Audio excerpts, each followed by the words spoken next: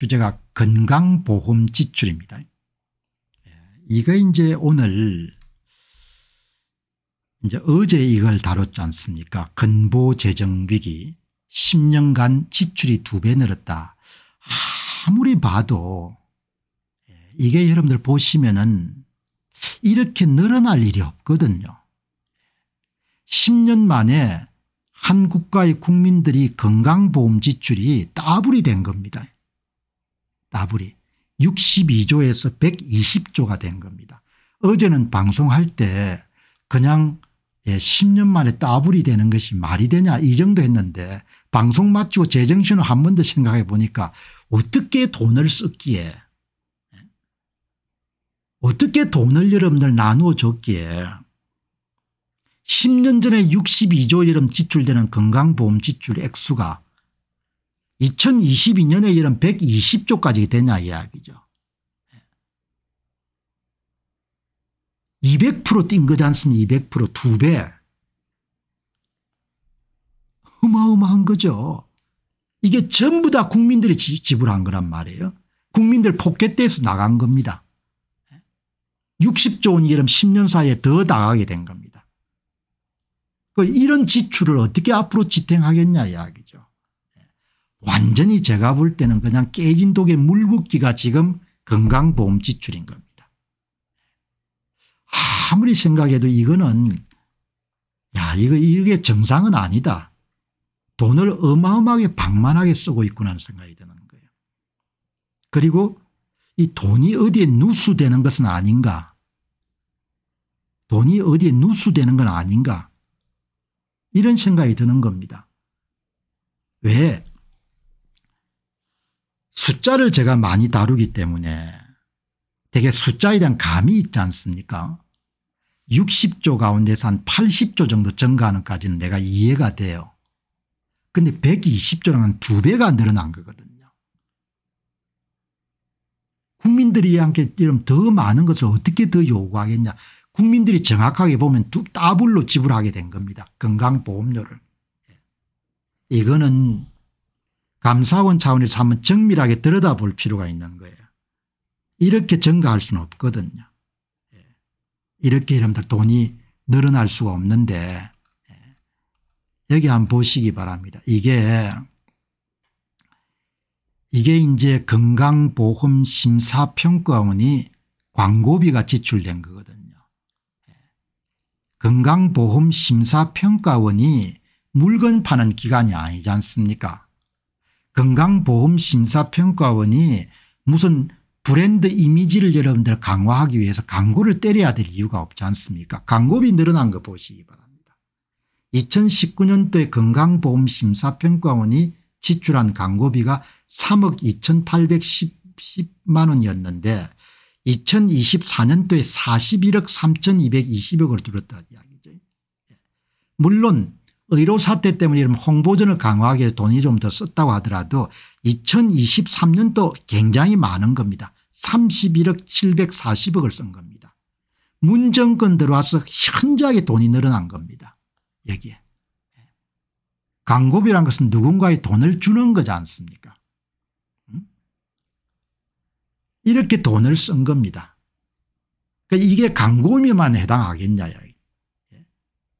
이게 광고비만 해당 안 할 거란 이야기죠. 하나를 보면 은 열 가지를 알 수가 있지 않습니까 예. 이거를 제가 딱 보고 아 이 사람들이 문정권이 들어오고 나서 상당히 뭔가 변화가 많았구나 생각이 드는 겁니다. 예. 돈을 어디서 많이 좀 빼먹을 수 있는 데가 없겠나 이 광고비를 쓰면 합법적으로 돈을 내려면 쓸 수가 있으니까 예. 이 보시기 바랍니다. 건강보험심사평가원의 이름 예산을 건강보험공단에서 거의 대부분의 이름들 채워주는데 이 심평원 예산 증가한 거 보시기 바랍니다. 이 심평원 이름들 예산도 보면은 이게 적정 규모의 인력으로 운영되고 있는지 도저히 내 믿음이 안 가는 겁니다. 건강보험의 심평원 부담금이 어마어마하지 않습니까 예산이 거의 5천억 정도 되는 이런데 예산을 쓰는 거네요. 그러니까 이 보면은 여기 보시면은 이 보면은 심평원은 예산 1360원을 투입해 강원도 평창군의 교육연수원을 착공하고 2015년에는 제1사옥에 1400억 투입했고 2019년에는 2사옥에 1500억을 투입한 겁니다. 또 연수원에 이름 1360원을 투입하는 겁니다. 주인 없는 돈이니까 다들 뭐 열심히 쓰겠죠. 뭐 나라의 다른 조직들도 마찬가지지 않겠습니까 건강보험심사평가원 자화자찬 광고에 국민이 낸 건강보험료 펑펑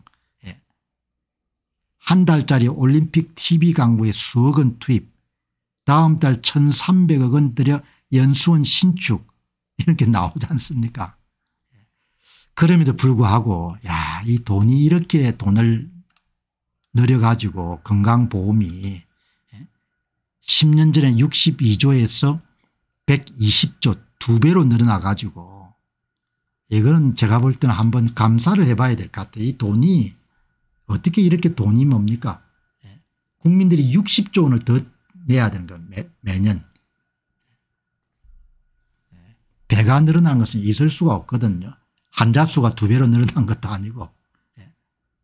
의료수까지 요만큼 매년 1% 정도 올려주는데 이렇게 늘어날 리가 없지 않습니까? 의료수가 매년 1% 정도 1%대 늘어주, 늘어주지 않습니까? 그런데 어떻게 예산이 뭐저 따블이 됐냐 자 여러분들 오늘 신나는 이야기하고 어두운 이야기를 동시에 말씀을 드렸는데 오늘 일요일 아침 방송 마무리하면서 간단하게 광고 하나 드리고 그 다음에 여러분들 방송 마무리하도록 그렇게 하겠습니다.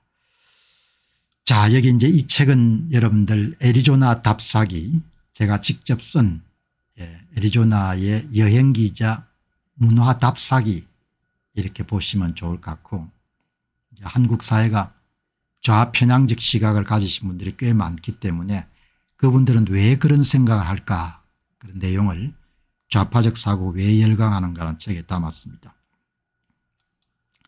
그 다음에 이제 미국의 젊은 선교사들의 한국 헌신기를 기록한 이름 없이 빛도 없이 예, 모두 다 제가 쓴 책이고 그 다음에 지난 4년간 예, 대한민국 공직선거를 해부한 총집대성한 도둑놈들 시리즈 1권부터 5권 여러분들이 많이 응원해 주셨는데 보지 않으신 분들도 한 번 더 관심을 가져주셨으면 좋겠고 그 다음에 이제 제가 직접 쓰지 않았지만 예, 이 김동주 박사께서 쓰신 아주 잘 쓴 기독교로 보는 세계 역사 예, 여러분에게 강력하게 추천합니다.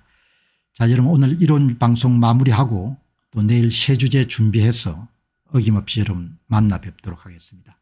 좋은 하루 되시기 바랍니다. 감사합니다.